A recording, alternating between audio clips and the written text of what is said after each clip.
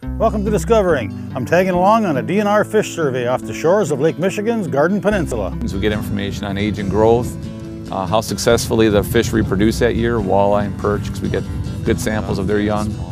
And we'll stop in at North Haven Gifts on Drummond Island for a look at pudding stones. Stick around, it's Monday night and time for Discovery. The secret streams that flow beneath the cliffs of colored stone forest thick and healthy with birch and pine and oak. Surrounded by the greatest lakes this world has ever known. The black bear's awesome presence as he roams the hills and fields. Call of the timber wolf, the loon's lonesome trill the eagle soaring high above, the trout lies deep and still. These are what I treasure, the only way I measure feelings that I have for this fine land. There is so much to discover when you're a long-time lover of northern Michigan.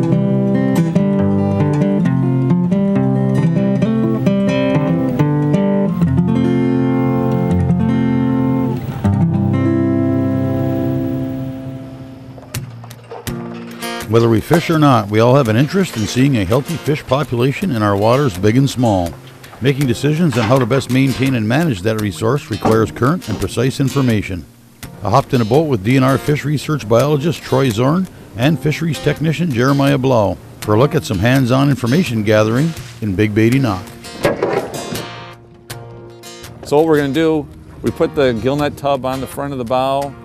We separate our catch by um, three sizes of mesh. So we have a, the smaller meshes, the medium mesh, and large mesh, and the micro mesh. This is the micro mesh right here. Depending on how the perch reproduction is really good, they'll will load up. Often catch alewife in this or spot tail shiners. What's that? Smelt. A couple more smelt looks like.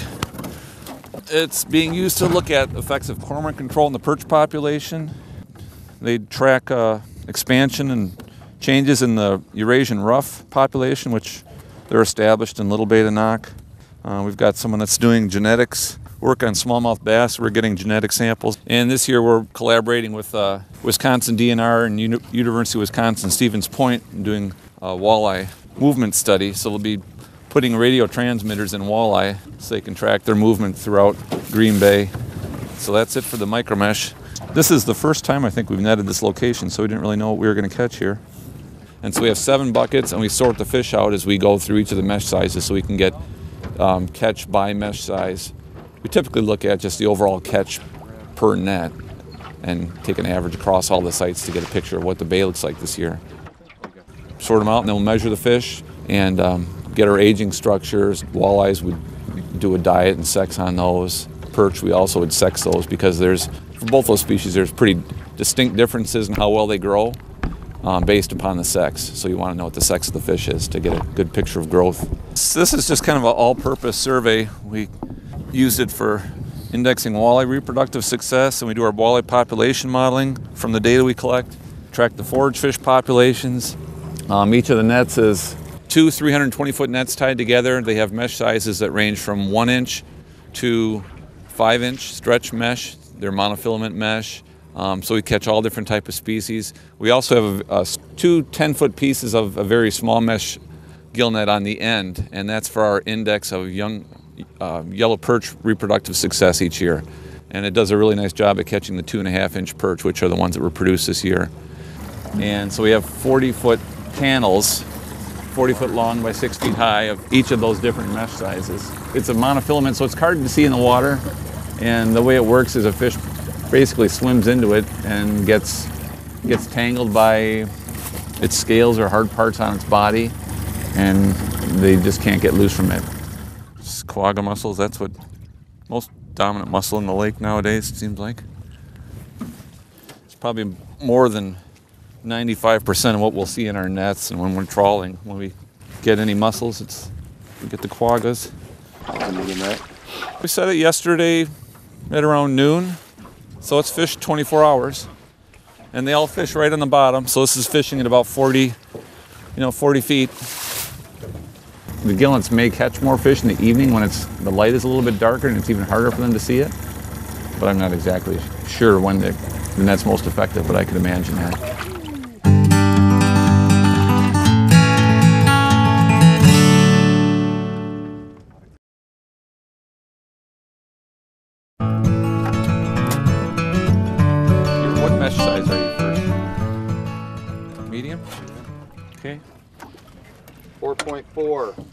Uh, well, this is a perch. The perch that are dead, we want to get the sex on those, and we got to you got to cut them open to do that. Alewife. 4.5. And because we're in, you know, you can see we're in a pretty small boat, and the weather can change out here. We just find it's more efficient when we get these kind of fish to just 4.4. note where they're from. So we write on a card here the collection number, which associates it with this net 2145 and the medium mesh, and then we just bag them, throw them in our cooler, and then when we get back to the shop, we can, in the comfort of our lab, process all these fish. You know, get the aging off them because we got to cut them open and get the sex information off of them, and we do the diet on the walleyes. So, and we can do that all in the lab. It's generally safer to not spend a lot of time out on a big body of water like this in a small boat. It's okay to do it for a while, but if the weather is going to change, then it's really good to just be able to get off as quick as possible. And it's it's just more awkward doing it out here on the water. So 23-0. Yep. The perch and walleyes that are alive, we just measure those and toss them. Over the course of the survey, we usually catch enough dead ones. We want uh, 20 or 30 fish in each inch group. And over the course, course of the survey, we'll get enough dead ones of all these different sizes that we'll, we'll release all the live ones we can. All the Chinook being stocked in the Lake Michigan, other parts of the lakes too, have an adipose clip. See how this, this is a brown trout. That's the adipose fin, the little fleshy fin. So all the ones stocked in the Great Lakes have an adipose clip, and the ones that are stocked also, they clip them and then they insert the coded wire tag in, in their snout here, and the tag is it's smaller than a grain of rice, and so all the fish that have that clip, we want to save them, and then we send the fish down to Charlevoix and they extract that tag, and then they can tell where that fish was planted and and then they'll know what portion of the planted fish reco- are recovered, you know, where they are recovered from, so where they moved to. And I think they could probably even get to something like how well they survived, you know, what portion of them survived from the time that they were tagged to the time that they were recovered, you know, by comparing um, amongst years. So we, we save these uh, adipose clip. We got to take this, we'll take it back to the the lab and whack its head off and then send the head down to Charlevoix. We did our first net here at 46 feet. We got another one set here. I need to steer the boat. That's B100. That's also at about 40 feet. And then our last one is in here at about 15 feet. And so we'll run, once we run those, then we'll reset at three locations out in this area. We'll probably catch more in the shallows. I bet we'll get more smallmouth and rock bass. But this part of the bay, I think we catch maybe fewer fish than in the other side of the bay. But it's really quite variable from year to year.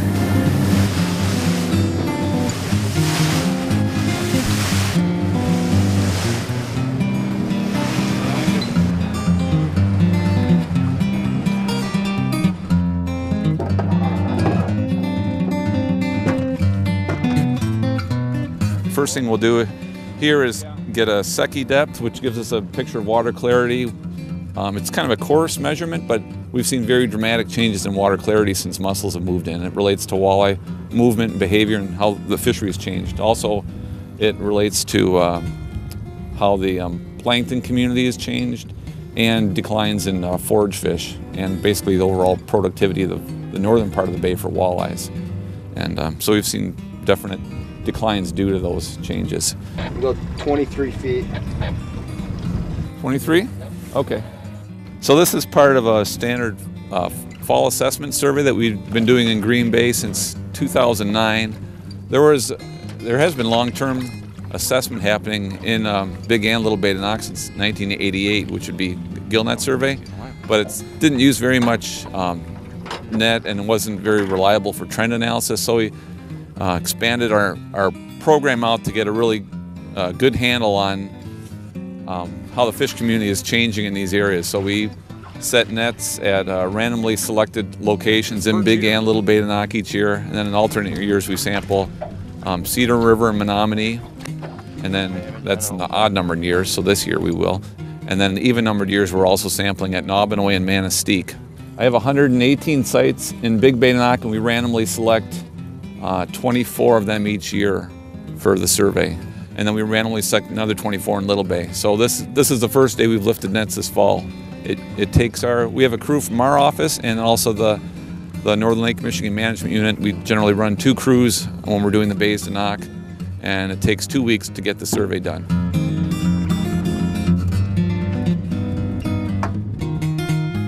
Some scale. Four, five. We're working with uh, University of Wisconsin Stevens Point. They're doing a genetic study of smallmouth bass in Green Bay, mostly southern Green Bay, but they're including uh, Big Bay Knox. They're looking at kind of relatedness of the different stocks and I think movement between the stocks. And then we take the anal spines and age the fish from a cross section of the anal spines. Kind of like people age them with scales where they lay down different rings, but on the spines you can see the ring a little bit more clearly. It's a one ring per year. It's not the easiest structure to age, but it's it's doable. It's it's better than the scales, more reliable is the consensus.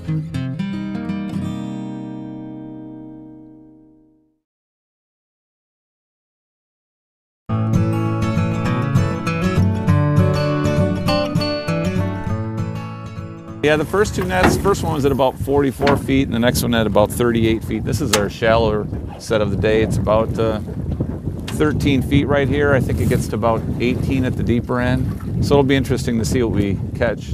Um, the first net didn't have a whole lot of fish, but the second one had quite a few perch. Which, so we'll see how this one works out. We used to use a trawl. Well, we still do trawl, but uh, I think with the changes in water clarity, I don't know if our trawling is as efficient as it used to be for collecting young perch. And this micro mesh, it fishes overnight, and we fish it everywhere we set our net, so we get a much better picture of perch reproduction around the bay. Oh yeah, he's he's he's lively still. Yeah. Uh, we should process him right away. Bring him in. We'll measure him up. What you got? Uh, looks like about 32 1. 32 1.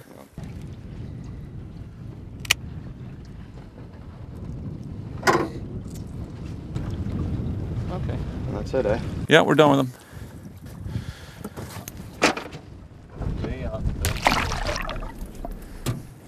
See the adipose on this one? That's a naturally produced Chinook. And he was 24.9. CHS 24.9. Fin clips, head of FAD, scales. Wow. He looks like he's not too alive, huh? We should take otoliths off that one. Should just take him back with us then? Yeah. Because uh, they've done some work in Wisconsin, actually, the same guys that we're working with on this telemetry project. And they found that some of the smallmouth grow quite a bit, they're, they end up getting quite a bit older than what you would expect from the scales of the spines. And from aging the otoliths, which are the ear stones of the fish, they found that some of these fish are approaching 20 years old. And the typical aging from a spine or a scale ends at about, they'd say that fish might be about 9 or 10. So, so since this one died, we're gonna we're gonna take it back and we're gonna take the otoliths. The otoliths are right behind the eye. We'll do that back in the shop where we're not bouncing around on a boat. This survey ends up getting used for a variety of purposes. Um, uh, you know, in, in, addition to indexing the trends through time in the forage fish, the game fish populations, we get information on age and growth, uh, how successfully the fish reproduce that year, walleye and perch, because we get good samples of their young. Um, there's cormorant control happening in the area. Has happened, is happening. I'm not sure the current status, but we've been using the data from the perch survey to keep track of how the population is, is responding or if it's responding at all. The walleye recruitment information is used to help us guide how much more we should stock, if we should stock, those types of questions. In Little Bay Knock, we catch Eurasian ruffe. I think it's the only location in Lake Michigan where they've been catching them. And they're just hanging on. It's been a small population, but it hasn't really taken off. we'll be doing some acoustic telemetry work, looking at walleye movements this fall. So we'll be implanting receivers or tags in those fish so we can track their movements. And um, we're also working with uh, uh, someone at the University of Wisconsin, Stevens Point, who's interested in smallmouth bass genetics. And they're looking at populations in southern Green Bay and comparing them also with um, the population out in Big Bay de Nocs. So we're also looking at diets of walleye and how they change and how that relates to the forage fish population and um, other things like that. Uh, you know, the data gets used for a variety of purposes over the years. Just a few examples. Well, we've got our three nets run. Now we're resetting at the next set of sight.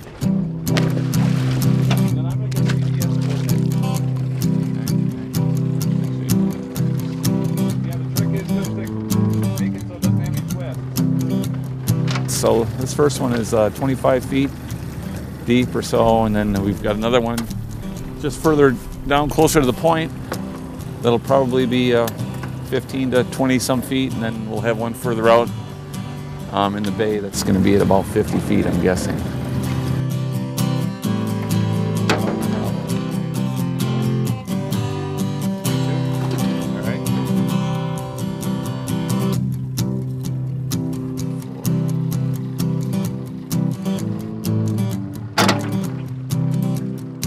Generally, because we got a small boat and the weather out here can be iffy, we generally set the uh, nets in a downwind direction. Well, sometimes we will um, set them parallel to the break, so we're getting the fishing in the same depth contour. Today we're setting the nets, these couple nets parallel to the contour because tomorrow we're supposed to have a pretty good west wind, and so we, it's a lot better to pull them into the wind, at least with our setup here. And uh, plus, we'd be, if we started at our point, we'd be running up the contour, which would could be problems for us. So.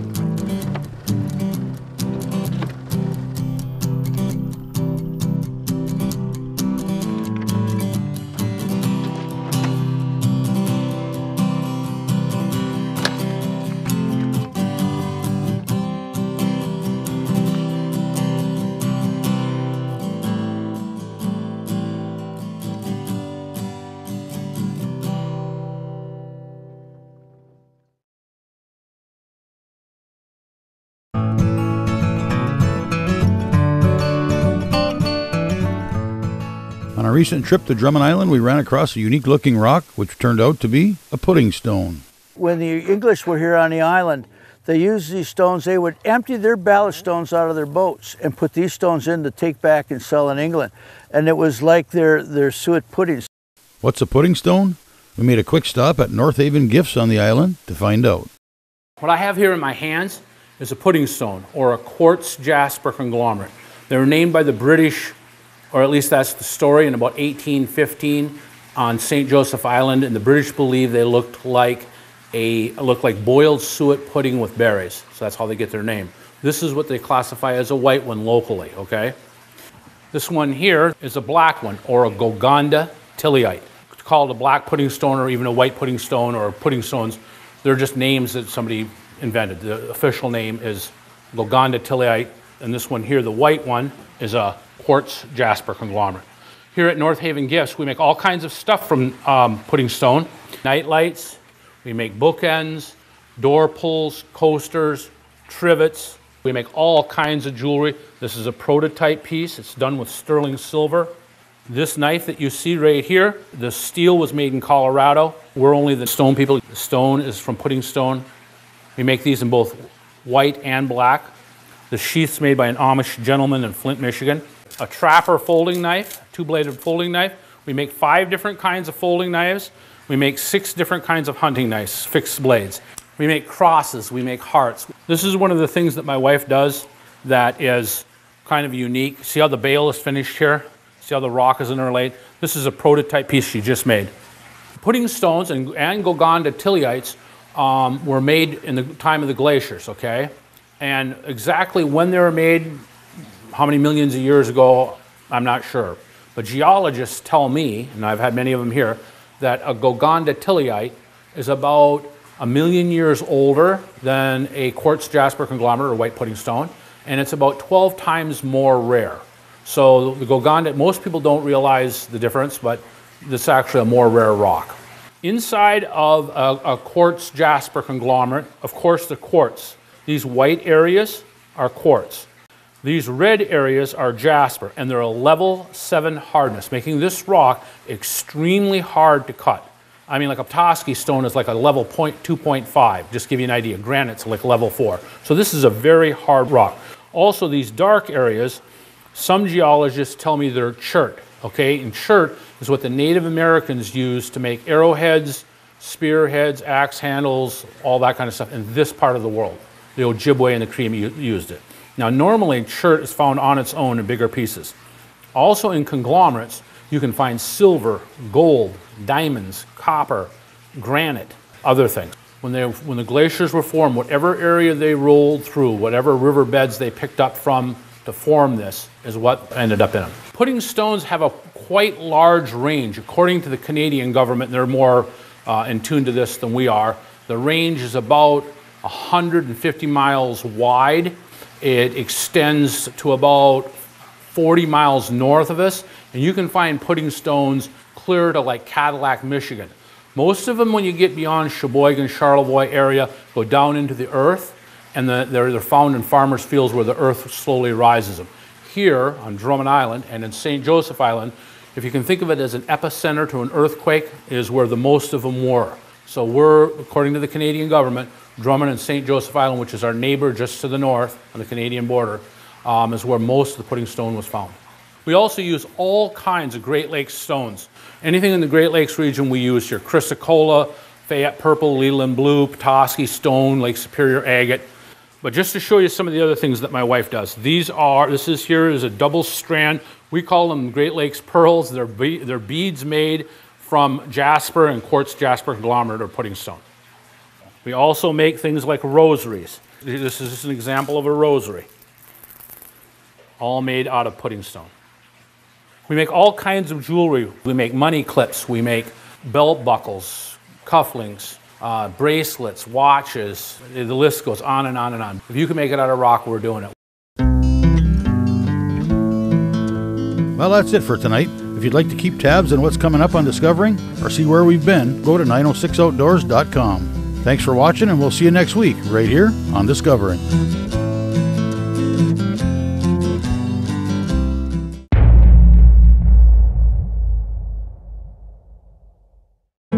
as he roams the hills and fields. Call of the timber wolf, the loon's lonesome trill.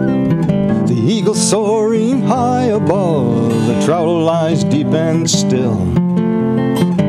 These are what I treasure, the only way I measure. Feelings that I have for this fine land. There is so much to discover when you're a long-time lover of northern Michigan.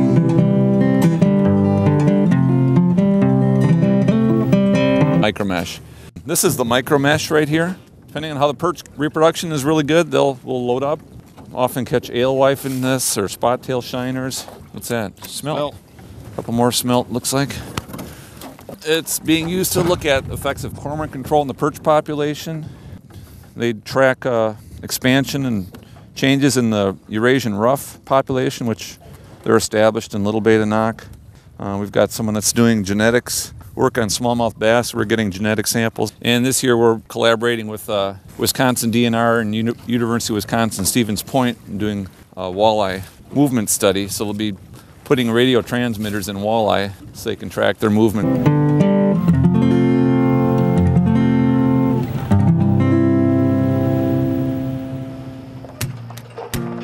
Whether we fish or not, we all have an interest in seeing a healthy fish population in our waters, big and small. Making decisions on how to best maintain and manage that resource requires current and precise information. I hopped in a boat with DNR fish research biologist Troy Zorn and fisheries technician Jeremiah Blau for a look at some hands on information gathering in Big Bay de Noc. So what we're going to do, we put the gillnet tub on the front of the bow. We separate our catch by um, three sizes of mesh. So we have a, the smaller meshes, the medium mesh, and large mesh. And the Welcome to Discovering. I'm tagging along on a DNR fish survey off the shores of Lake Michigan's Garden Peninsula. we get information on age and growth, uh, how successfully the fish reproduce that year, walleye and perch, because we get good samples of their young. And we'll stop in at North Haven Gifts on Drummond Island for a look at pudding stones. Stick around, it's Monday night and time for discovery. The secret streams that flow beneath the cliffs of colored stone. Forest thick and healthy with birch and pine and oak. Surrounded by the greatest lakes this world has ever known. The Black Bear's awesome presence throughout Green Bay. So that's it for the micro mesh. This is the first time I think we've netted this location, so we didn't really know what we were going to catch here. And so we have seven buckets, and we sort the fish out as we go through each of the mesh sizes so we can get um, catch by mesh size. We typically look at just the overall catch per net and take an average across all the sites to get a picture of what the bay looks like this year. Sort them out, and then we'll measure the fish and um, get our aging structures. Walleyes, we do a diet and sex on those. Perch, we also would sex those because there's, for both those species, there's pretty distinct differences in how well they grow um, based upon the sex. So you want to know what the sex of the fish is to get a good picture of growth. So this is just kind of an all